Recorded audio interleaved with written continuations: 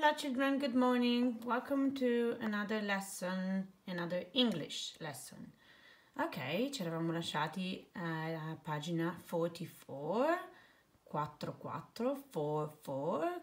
So please open your book at page 44. Intanto faccio i complimenti a tutti quelli che mi hanno mandato i compiti e mi raccomando chi non l'ha fatto lo faccia al più presto la puntualità. Vi ricordo che siamo a casa ma non siamo proprio in vacanza, quindi cerchiamo di lavorare rispettando i tempi il più possibile, ok? Okay, so uh, let's start with this exercise where we have to listen to the voice and circle the objects or the animals that we hear. Okay, so circle the things you will hear.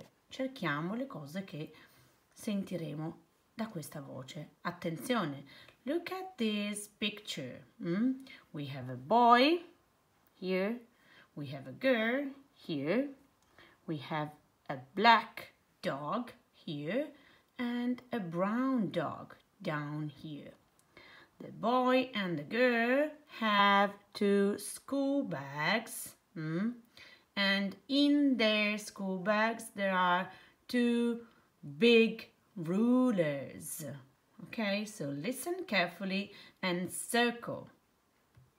Page 44, exercise 15.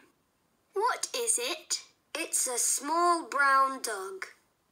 What is it? It's a purple school bag. What is it? It's a blue ruler.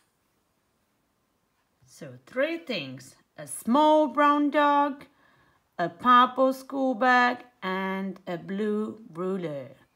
Try to find these three things and circle them. Cerchiateli e trovateli, ok? Buon lavoro! Allora, come sempre alla fine della nostra lezione abbiamo un piccolo riassunto su quello che avremmo dovuto imparare insieme in questa unità. Cosa avremmo dovuto imparare? All of the farm animals and pets. Tutti gli animali della fattoria e i pets, che abbiamo detto essere gli animali domestici. Very good. Mm? If you know all of them, se sapete tutti i nomi di questi animali, provate a ripeterveli. Se riuscite a dirli tutti quanti, then you can color this face. Potete colorare questa faccina. If you know some of the farm animals and pets, but not all of them, se ne conoscete solo qualcuno, ma non tutti, allora you can color this face. Mm? Coloriamo la seconda faccina. In questo caso andiamo a ripassarceli, ok? Ok, very good. In the next page, here, page 45, you can just color, draw and color your favorite animal. Hmm? So we are at the farm. We can see a horse here. And what else? A chick here. Hmm? And here in this white space, you can color and draw your favorite farm animal. Il vostro animale da fattoria preferito. Quando torneremo a scuola mi direte qual è il vostro farm favorite farm animal. Ok? Con questo capitolo si chiude l'argomento animali, eh, ma credo che a breve vi invierò anche poi una, un piccolo test per vedere se li avete imparati davvero tutti quanti, ok? Possiamo però oggi ancora andare un pochino avanti insieme. We are at page 46. Turn the page. Girate la pagina. Turn the page. Mm and we can learn together some parts of the body. Impariamo insieme le parti del corpo. Okay, look at this picture. We have our three monsters. Remember them? The red monster, the orange monster and the green monster. And they touch a part of the body. Stanno toccando una parte del loro corpo. Intanto, where are they? Dove si trovano? Think about it and try to image where they can be. Hmm? They are at the gym.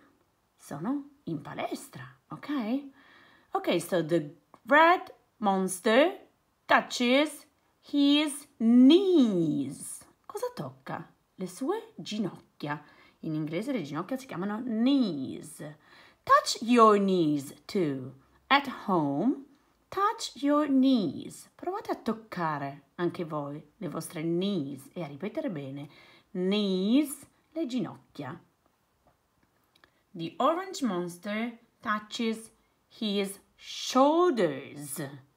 Ok? His shoulders, le spalle. You too, touch your shoulders. Provate anche voi. The green monster touches his head. Cosa tocca il mostro verde? La sua testa. In inglese si dice head. Head. Allora, c'è una canzoncina che molti di voi sicuramente conosceranno per imparare tutte queste parti del corpo. Io vi faccio sentire una rima, non è proprio una canzone, sul nostro libro abbiamo una rima, ma voi a casa potrete sicuramente andare a cercarla su YouTube sotto forma di canzone che è un po' più divertente e così vi aiuta a memorizzare meglio queste parole. Sentite un po'. Circle time. Page 46, exercise 1. Head and shoulders, knees and toes, knees and toes, knees and toes. Head and shoulders, knees and toes, eyes, ears, mouth and nose. Vediamole bene insieme. Head, abbiamo detto essere la testa. Pian piano che nominiamo le parti, voi provate a toccarle sul vostro corpo e a ripeterle. So, head, testa. Shoulders, spalle. Knees, ginocchia. Toes, andiamo più giù. Toes non sono i piedi, eh? Attenzione, toes sono le dita dei piedi. mm? Ok, then it repeats head and shoulders, knees and toes. Adesso andiamo a vedere cosa abbiamo questa volta sulla nostra face, faccia. Eyes, occhi, toccate i vostri occhi. Ears, orecchie. Mouth, bocca. And nose, naso. Provate più volte con l'aiuto di questa rima, o appunto se volete cercare una canzone, a toccare le parti del corpo e memorizzarle bene, ok? Very good. Okay, I know you can do it and it will be fun, I think. Okay, here below we are at the gym mm, and the exercise you have to do is to draw, draw with your pencil, a boy here and a girl here. Okay, I'm not going to tell you what a boy and a girl is because you know it. Boy here and girl here. Draw both of them in this picture. Disegnateli in questa figura. Sicuramente sapete che cos'è un boy e che cos'è un girl perché l'abbiamo visto in classe diverse volte. Okay, so we can go on to page 47 all together. Here we have all the parts of the body. Mm? Look, the boy here says, I've got one head. I've got, ci ricordiamo, vuol dire io ho. Io ho una head. Head era la testa. Very good. Cosa dovete fare? Dovete mettere i numerini in ordine così come li avete sentiti nella rima precedente. Ok? So, repeat with me. Head, shoulders, knees, and toes. Head, shoulders, knees, and toes. Eyes, ears, mouth, nose. Ok?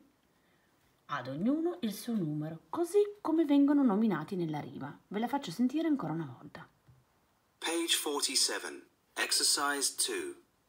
Head and shoulders, knees and toes, knees and toes, knees and toes.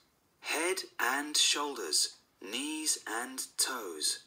Eyes, ears, mouth and nose. Ok, nell'ordine in cui li avete sentiti, mettete i numerini from 1 to 8, da 1 a 8.